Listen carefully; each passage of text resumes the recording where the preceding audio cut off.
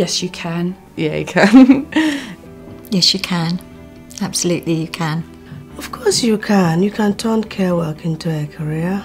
You can work your way up from a care assistant to a team leader, all the way up to deputy manager, manager. you can. I'm living proof of that. I mean, I've been in care for uh, best part of 17 years. So if that's not a career, I don't know what is then, really.